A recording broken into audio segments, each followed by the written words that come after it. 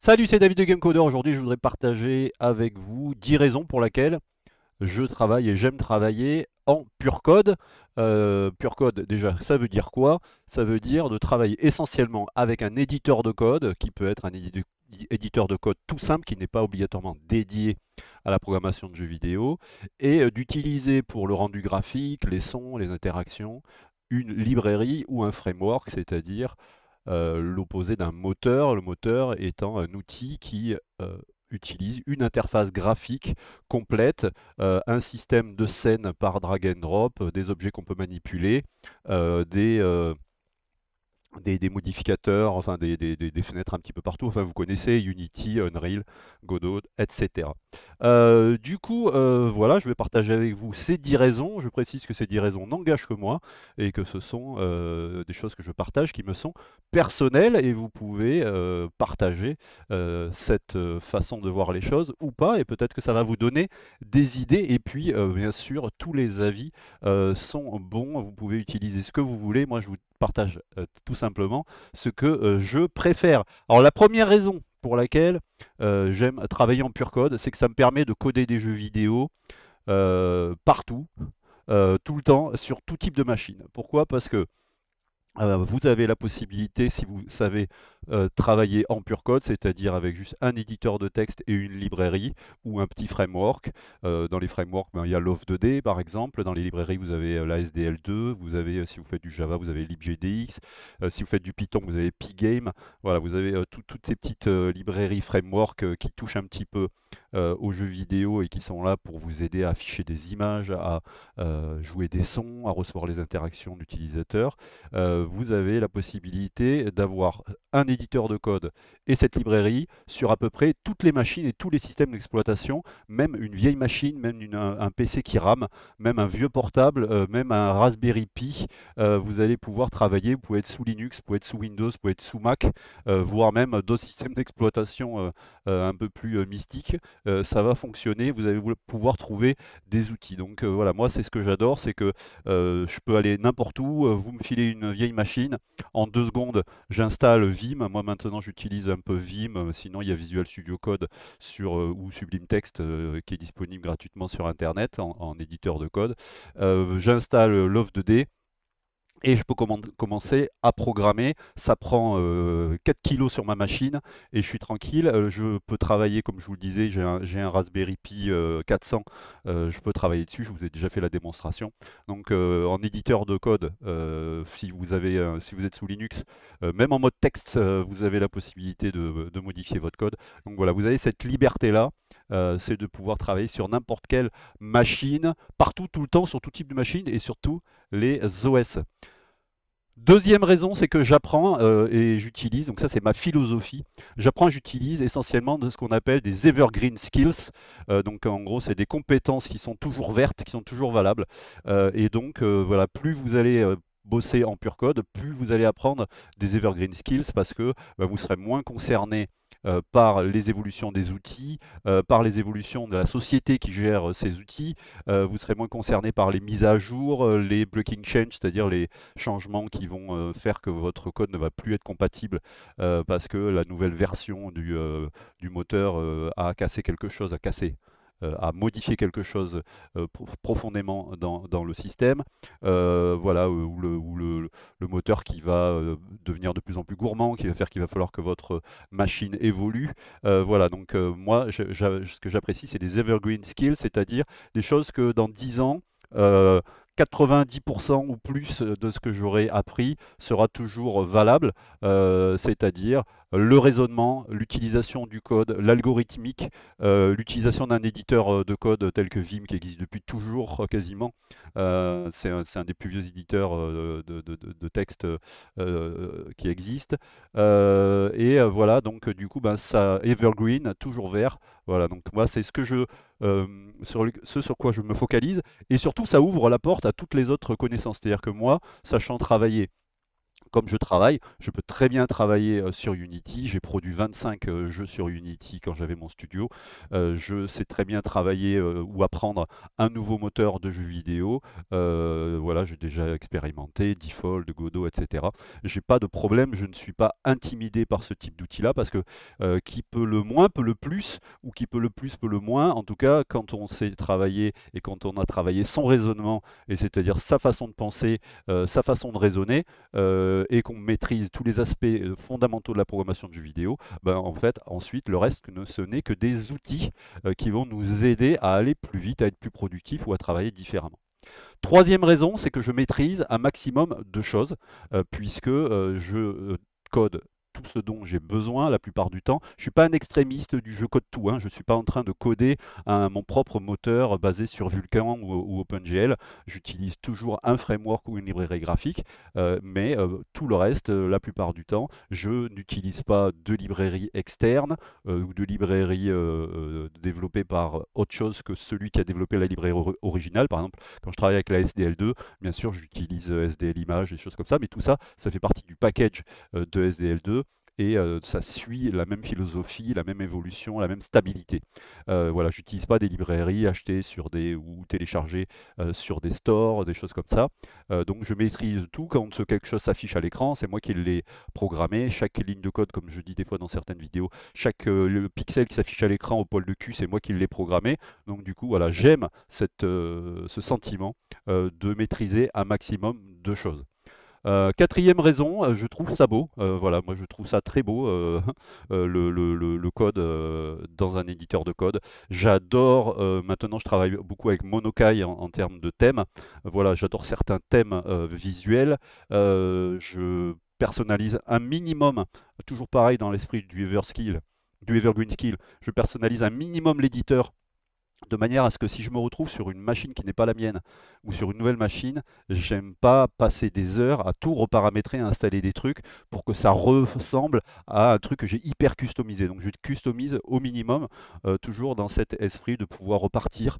Euh, voilà, après euh, une bombe atomique, je retrouve un PC, je prends un éditeur de, code de base et je peux travailler. Je ne vais pas me dire ah il faut que je reparamètre tout parce que j'ai perdu mes, repères, j'ai perdu mes marques, tout ça.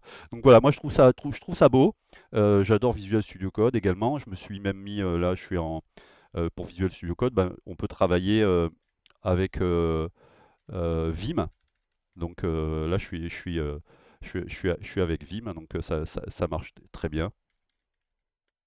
Voilà. Donc du coup, on, a la possibilité également. Qu'est-ce que je voulais vous dire? Je, trouve ça beau. je suis perdu parce qu'en en fait j'ai fait je viens juste de l'installer ce truc et j'ai fait un slash pour rechercher et j'ai pas vu que ça ait marché.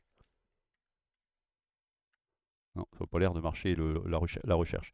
Euh, c'est pas grave. Donc du coup, voilà, j'expérimentais d'avoir le mode Vim sous Visual Studio Code. Euh, donc voilà, je trouve ça beau euh, personnellement. Donc voilà, je travaille avec toujours des thèmes dark. Hein. Ben, j'aime beaucoup. de toute façon, aujourd'hui, les thèmes dark, c'est ce qui se fait le plus. Et là, je suis en train de bosser, par exemple, sur du contenu de formation pour vous apprendre à faire des chorégraphies et des patterns ennemis dans un shooter façon R-Type. Voilà, je travaille avec Visual Studio Code. Et c'est plutôt cool. donc, cinquième raison, j'ai appris comme ça. J'ai tout simplement appris comme ça, donc du coup ben, ça vient un petit peu de, mes tripes, euh, le code. J'aime voir du code, j'aime manipuler du code. Euh, j'ai appris comme ça, j'ai appris sur Amstrad CPC. Donc je vous rappelle que sur ces machines-là, on allumait la machine. Euh, je ne sais pas si j'ai... je dois avoir un caprice qui tourne. Donc on allumait la machine, voilà, ça c'est comme si j'allumais la machine et on avait directement l'éditeur de code. Donc du coup, ben, on pouvait tout simplement déjà commencer à, à programmer.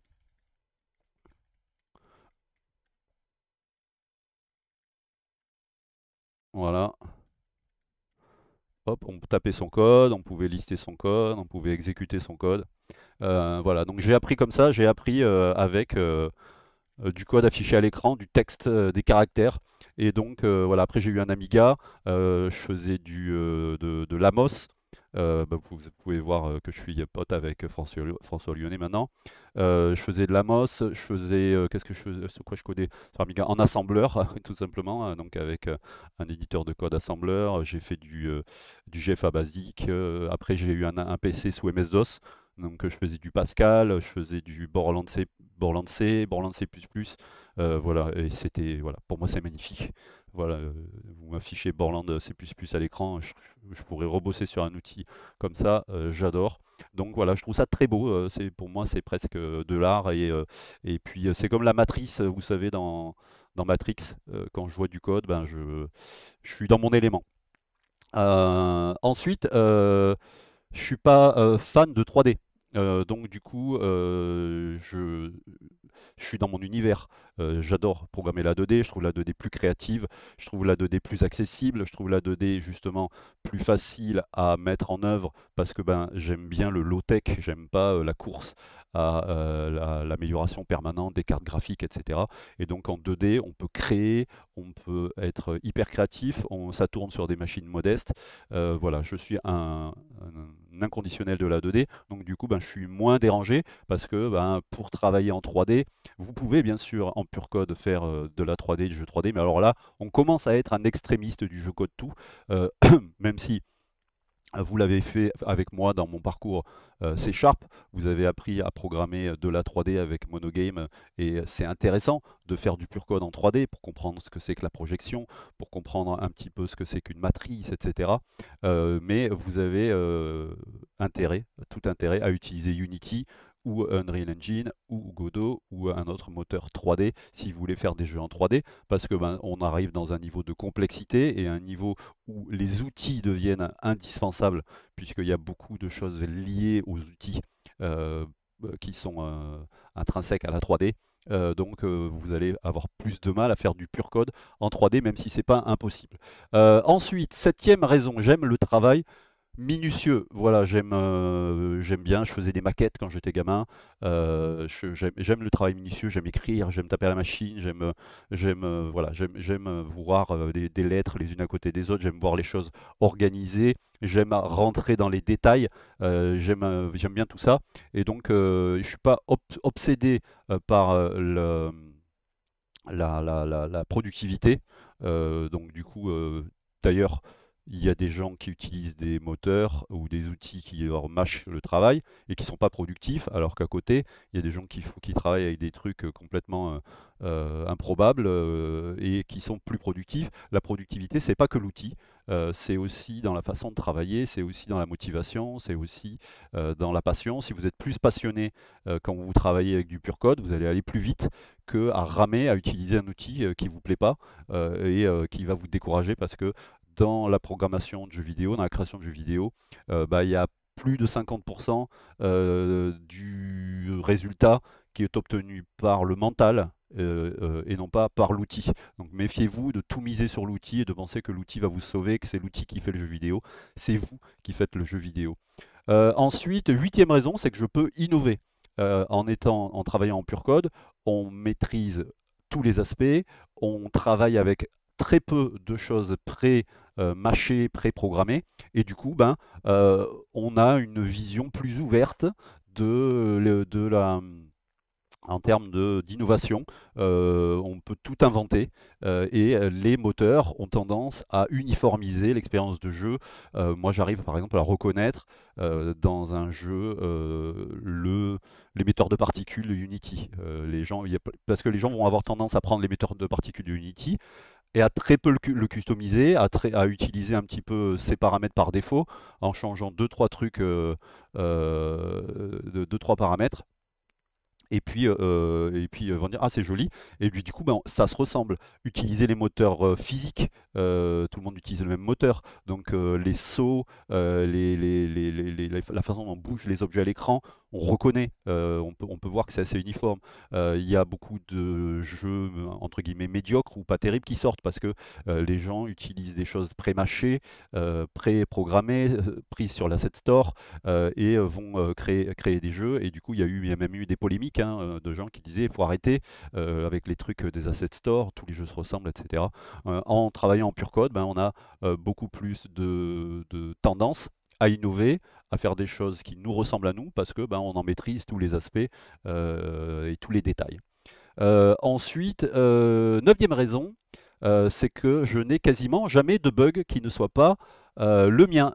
vous avez plus vous utilisez de couches euh, venant d'un outil extérieur, plus à un moment donné vous allez avoir un problème, un bug ou un effet de bord, et vous allez vous demander est-ce que c'est moi ou est-ce que c'est l'outil que j'utilise? Quand on travaille en pure code avec une librairie, euh, quand on travaille en pure code avec un framework, euh, on a très très peu de chances d'avoir un bug lié à la librairie ou au framework. Pourquoi? Parce que les librairies ou les frameworks sont beaucoup plus faciles à stabiliser euh, et à tester pour leurs concepteurs. Voilà, ils, mettent en place des euh, tests unitaires, ils ont des, euh, espèces de, grosses moulinettes qui démarrent et qui va tester toutes les API la librairie et qui va vérifier que tout fonctionne, vous avez beaucoup plus de chances d'avoir de bugs quand vous avez un millefeuille qui utilise un éditeur de code séparé, un éditeur de scène, des librairies, enfin des euh, des modules préprogrammés d'animation, des modules préprogrammés de gestion de map, etc., des modules préprogrammés de, de sprite,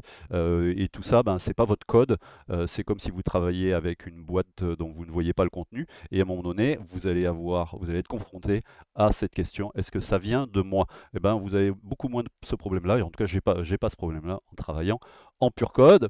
Et la dixième et dernière raison, c'est que je ne suis pas dépendant d'un objectif financier. Euh, quand on travaille avec euh, du pur code, on a beaucoup plus de chances de travailler avec de l'open source. Quasiment tout ce qui est pur code est open source. Euh, tout ce qui est moteur est souvent géré par des sociétés à but lucratif. Ce n'est pas le cas de Godot, par exemple. Donc du coup, ben, ça ne s'applique pas à, tout, tous les moteurs et tous les outils. Mais en tout cas, plus l'outil est complexe, plus il demande du monde, plus il demande des équipes s'ils demandent des équipes, ils demandent des salaires parce que les gens ne vont pas pouvoir travailler gratuitement, même si bien sûr dans le domaine de l'open source, on peut tout trouver. Mais euh, je pense par exemple aux euh, moteurs les plus utilisés qui sont Unity et Unreal, qui sont, euh, des, qui sont des excellents outils et des excellents moteurs mais vous allez être dépendant d'objectifs financiers. par exemple, sur Unity, récemment, il y a beaucoup de polémiques sur le fait que tout est en bêta, ils ne terminent rien. Pourquoi? Parce qu'ils ont des objectifs financiers, qu'ils ont objectif à la fin de l'année d'afficher des bons chiffres au, niveau de la bourse, puisqu'ils sont cotés en bourse. Et du coup, ben, si vous voyez par exemple les pubs en ce moment de Unity, que, que, vous affiche votre PC ou votre portable, ben, ça parle de simulation militaire ou euh, d'utilisation d'Unity pour autre chose que du jeu vidéo. Pourquoi? Parce qu'ils essayent de trouver d'autres domaines, parce que le jeu vidéo est très peu lucratif pour eux. Euh, et du coup, ben, vous êtes dépendant, et en tout cas, moi, j'aime pas cette dépendance-là. Euh, c'est marrant parce qu'il y avait une époque où tout ce qui était justement dépendance avec des sociétés à but lucratif était le diable. Euh, c'était, euh, on va dire, l'ancienne génération, même si les générations ont l'air de se raccourcir. Euh, avant, Windows c'était de la merde, il fallait, tout le monde ne jurait que par l'open source. Il y a encore des gens comme ça, mais beaucoup moins. C'est-à-dire qu'il y a une nouvelle génération qui se, qui se moquent euh, complètement, qui utilisent Windows sans se poser de questions, qui utilisent des outils commerciaux euh, sans se poser de questions et qui un jour vont se retrouver bloqués et surpris par le fait qu'ils ben, sont dépendants euh, d'une machine à faire de l'argent et non pas de gens qui sont là pour les aider. pas uniquement en tout cas pour les aider. Et donc c'est bizarre, on est passé assez rapidement, moi dans les années 90, moi qui étais en plus un fan de Windows, euh, je me faisais presque insulter dans les boîtes où je travaillais, pas insulter, mais en tout cas critiquer ou moquer. Euh, on me disait qu'est-ce que tu fais sur ce clicodrome? Voilà, je me souviens de ce genre d'expression. Euh, parce que ben, mes potes, mes camarades, ils étaient sous Linux avec Emacs ou avec VI et que moi j'aimais bien Windows à l'époque, je sais pas ce qu'il y avait, Windows 95 ou, voilà, même Windows 3.1 j'aimais beaucoup. Donc du coup voilà, moi je ne suis pas un, anti, un anti Windows du tout, même si j'essaie d'utiliser en ce moment un peu plus Linux. voilà, donc du coup ben moi j'aime bien ne pas être dépendant d'objectifs financiers. Euh, c'est un petit peu l'ancienne école. Euh, peut-être vous partagez cet état d'esprit-là. Voilà, j'espère vous avoir donné envie, en tout cas, de faire du pur code. Si vous voulez apprendre à programmer avec moi, bah, je m'assois à côté de vous quasiment et puis je vous apprends tout de A à Z d'une manière un petit peu original, on n'est pas dans l'esprit tuto, on est dans un esprit justement raisonnement, fondamental jeu vidéo, effet Lego, euh, vous allez pouvoir créer tous les genres de jeux vidéo que vous avez dans votre tête parce que vous allez devenir un véritable programmeur de jeux vidéo. Et ça, ça se passe sur mon école en ligne, ça s'appelle Gamecoder, G-A-M-E-C-O-D-E-U-R.fr. Vous avez tous les liens dans la description de la vidéo et je vous apprends à programmer ben, en pur code, avec des librairies, avec des frameworks, et vous avez également des initiations avec, à des moteurs. Hein. Vous pouvez faire, euh, euh, je peux vous apprendre également, il y a, des, il y a du contenu sur Unity, euh, sur GameMaker, il y a du contenu 3D Unity qui arrive bientôt. Donc vous voyez que je suis quand même ouvert à tous les aspects de la programmation de jeux vidéo, mais c'est le meilleur moyen de devenir un, tueur en code. C'est travailler en pur code avec un putain d'éditeur de code euh, et vous allez devenir comme dans Matrix. Vous allez voir, euh, au lieu de voir des petits caractères verts euh, qui défilent sur l'écran, vous allez voir votre jeu vidéo, vous allez voir toute l'innovation que vous allez pouvoir créer, tout le gameplay que vous allez pouvoir créer à travers juste des lignes de code et ça va être juste fabuleux pour vous. Vous allez découvrir tout un univers. Euh, je vous remercie de m'avoir écouté. Vous pouvez mettre un pouce comme ça sur cette vidéo. Je pense que je vais avoir des pouces comme ça parce que quand on prononce le mot Unity dans une vidéo, on a des pouces comme ça. Même si on dit Unity, c'est bien. Quoi? Il a dit Unity. Ah voilà, c'est comme ça. Euh, du coup, euh, pouce comme ça sur cette vidéo. Abonnez-vous à cette chaîne si vous intéressez à la programmation de jeux vidéo. Et puis vous pouvez commencer ma formation gratuitement sur www.gamecoder.fr. Merci, salut, bon code. Bon pur code.